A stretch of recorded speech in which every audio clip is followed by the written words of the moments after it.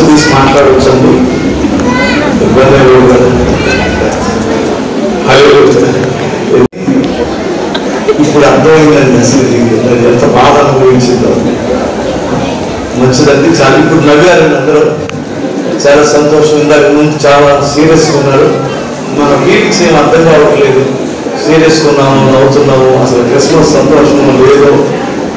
ఎవరు ఫీల్ అయ్యారు ఎవరు ఫీల్ ఏం అర్థం కావట్లేదండి. చాలా సంతోషం. మరి మరి ఈ యొక్క శ్రేష్టమైన క్రిస్మస్ ఆరాధనకి నన్ను ప్రత్యేకించి ఆహ్వానించిన ప్రయోజనాలు రమేష్ బాబు గారికి వారి కుటుంబ సభ్యులకి నా హృదయపూర్వకమైన వందనాలండి మరి ముఖ్యంగా అన్న జాన్సన్ అంటే నాకు చాలా అభిమానం ఇష్టం. ఇష్టపడే సేవకులు ఒకరు ఆయనకి నా హృదయపూర్వకమైన వందనాలండి మరి సిస్టర్ గారికి కూడా వందనాలండి ఇప్పుడు వచ్చిన దైవజనులు గనులైనటువంటి వారు గొప్పవారు చాలా మంది ఉన్నారండి వారందరికీ నా హృదయపూర్వకమైన వందనాలు. ముఖ్యంగా మొన్నటి దినాన నాకు రమేష్ గారు చెప్పినప్పుడు నేను చాలా సంతోషించాను. ఎందుకంటే ఏ విషయం? ఈ విషయం కాదు.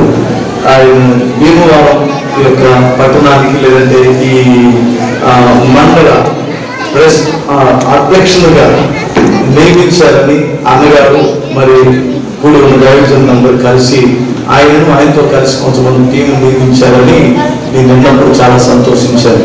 ఇంతకు ముందు చేసిన దానికంటే ఇది చాలా కష్టమైన రోజు. ఇంతకు ముందు వేరండి ఇప్పుడు వేరు. చూసారా? ఇప్పుడు మనం ఎంత భయపడుతూ ఇక్కడికి వచ్చామో ఈరోజు మా గుంటూరులో కూడా యూపీఎఫ్ జరుపుకున్న ఒక క్రిస్మస్ ఆరాధన జరిగింది. అక్కడికి వెళ్ళి నేను వచ్చాను. మీరంతా ఎంత క్రమంగా చక్కగా మాస్కులు పెట్టుకున్నారు? మా ఊళ్ళో ఏమి భయపడట్లేదు అంటుంది. ఎవరు? నేను తప్ప ఎవరు పెట్టుకోవాలి మాస్కులు? నేనే ఎక్కువగా పెట్టుకున్నాను. దేవుని కృపలో మనం ఉన్నాం ఉన్నామండి. నిజంగా మనం చూసిన సేవకుల్లో చాలా మందిని మిస్ అయ్యామండి. మనం పరిచయం సేవకులు చాలా మంది మిస్ అయ్యారు. చాలా మందికి తెలియట్లేదు ఆ విషయం. గొప్ప గొప్ప దైవజనులు లేకుండా పోయారండి. కాకపోతే ఇందాక దైవజనులు చక్కటి మాట చెప్పారు ఎందుకంటే వాళ్ళు మంచి స్థలంలో ఉన్నారు వారు మిగిలించిన మంచి పరిచయం మనం మంచిగా జరిగేద్దాం అలా ఈ భూమిలో అన్ని పనుల కంటే మంచి పని ఏదైనా దేవుడి పని దానిని మనం మంచిగానే జరిగించాలి కనుక మీరంతా మంచిగా ముగించాలి. ఒకసారి మనందరం ఒకసారి లేచి నిల్చుందామా చాలా సమయం కూర్చున్నాం కదా. ఒక చిన్న పల్లవి పాడుకుందాం.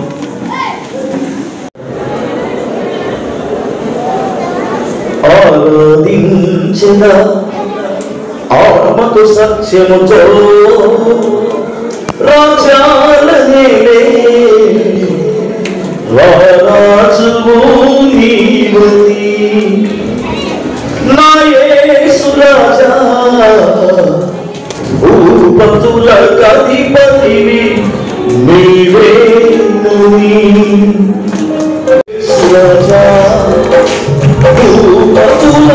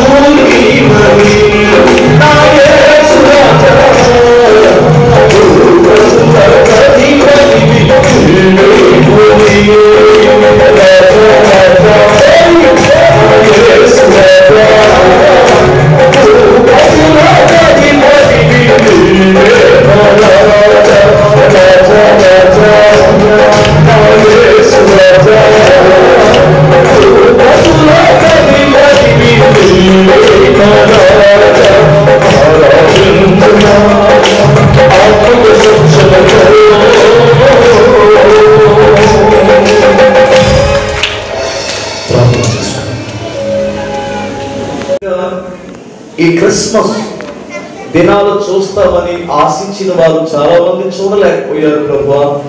నన్ను నా కుటుంబాన్ని మీరు క్షేమంగా ఉంచి ఈ పండుగ దినాలలో మా హృదయాలలో మీరు ఇచ్చిన సంతోషాన్ని బట్టి స్తోత్రమని ప్రభుకి మహిమ కలుగునట్లు కృతజ్ఞతాస్తుతులు చెల్లించడం పరిశుద్ధునికి కృతజ్ఞతలు తెలియజేస్తూ ప్రభావ మిమ్మల్ని బట్టి మేము బ్రతుకున్నాము ఆయన మీ వాత్సల్యతను బట్టి జీవిస్తున్నాము తండ్రి. మీకు స్తోత్రం స్వామి. ప్రభా మీ కృపను బట్టి మా పరిచర్యలు ఇంకా నిలిచే ఉన్నవి ప్రభా ఎన్నో పరిచర్యలు ప్రభా తలక్రిందులు అయిపోయిన దినాలు ఆ పరిస్థితులు మేము చూసాము తండ్రి. ఈ దినాన మేము మా పరిచర్య ఉంది అంటే మీ కృపే కదా. తండ్రి మీకు కృతజ్ఞతాస్తుతులు నాయన. మా కుటుంబ సభ్యులలో మేము ఎవరిని కోరుకోకుండా అందరూ సజీవంగా ఉన్నామంటే మీ కృపను బట్టే కదా తండ్రి మీకు కృతజ్ఞతాస్తుతులు చెల్లిస్తున్నాం నాయన. మా శక్తి మా భక్తి మాలో ఉన్నటువంటి ఇమ్యూనిటీ కాదు నాయన. మీ కృపను బట్టి మేము జీవిస్తున్నాము తండ్రి. మీకు కృతజ్ఞతాస్తుతులు స్వామి. అని దేవునికి మన మనసారా స్థుతి చెల్లించుదాం. హల్లెలూయా. స్తోత్రం స్తోత్రం స్తోత్రం స్తోత్రం స్తోత్రం. కరెక్ట్గా మూడున్నర గంటలకి మూడున్నర టైం మూడున్నర నాలుగు మధ్యలో ఏకు చుక్క ఒకటి పుట్టిందండి. పొడిసిందండి. చుక్క పొడిసిందంటే అమ్మయ్య ఇక తెల్లారిపోతుందని ఇక నిద్ర పట్టదు. చలి పట్టేసుకొని కూర్చుంటాం.